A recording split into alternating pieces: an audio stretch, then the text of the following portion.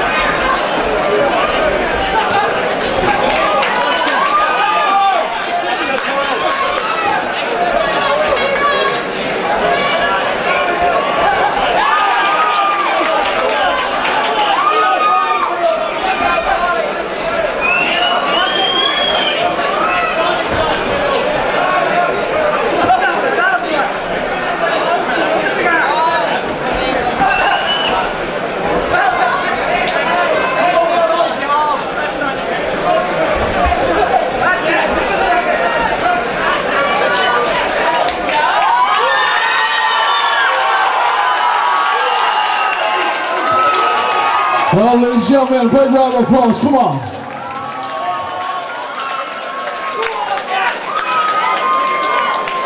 Ladies and gentlemen, in 1 minute 43 seconds of round 4, with Edwin being in no position to further defend himself, leaving the referee, Mr. John Lloyd, no choice but to award the contest to Tyrone, the White Chocolate Whoa.